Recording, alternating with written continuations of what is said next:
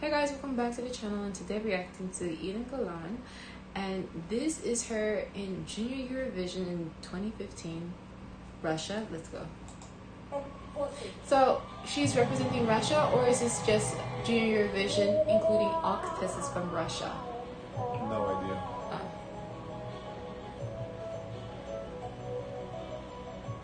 I kind of It's a big stage.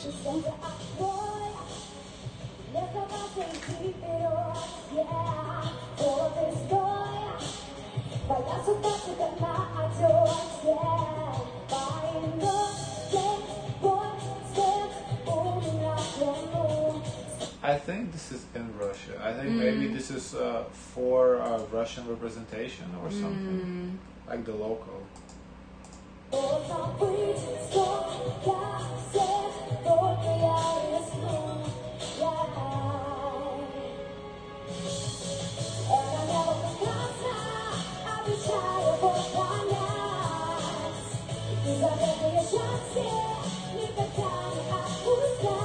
Does it say in the notes how she did in this one?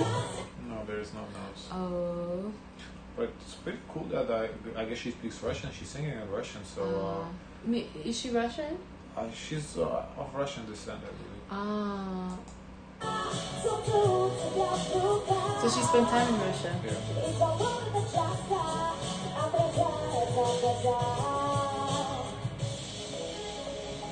Mm. Okay, choreo.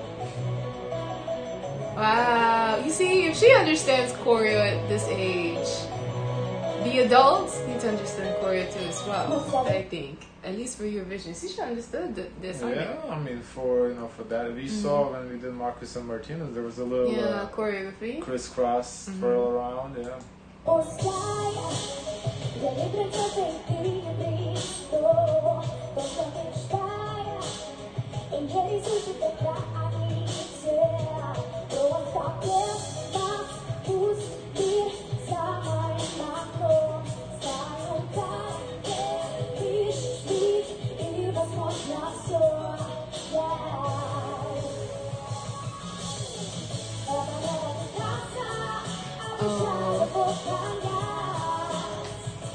Do you understand a little bit of it or no?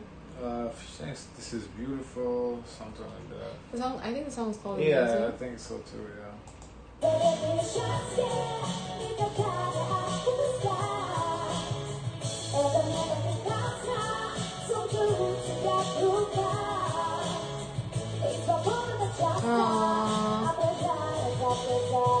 I wonder if this is like her created, well, her team's created song, or it's a cover.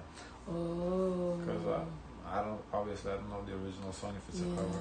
Yeah. Okay, ponytail.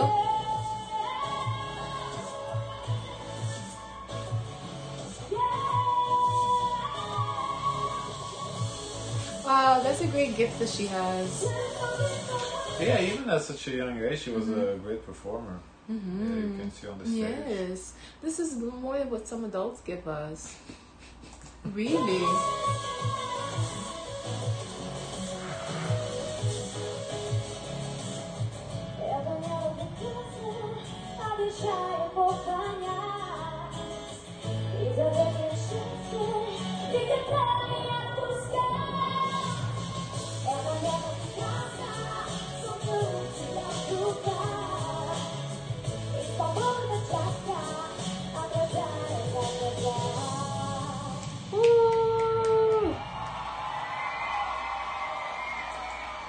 Wow, that was 2015 Eden Golan. Let us know what you guys think. She is representing Israel in Eurovision 2024. So we'll be watching to see how she does in this competition. As always, don't forget to like, comment, and subscribe. Join the gang and share as much kindness as possible.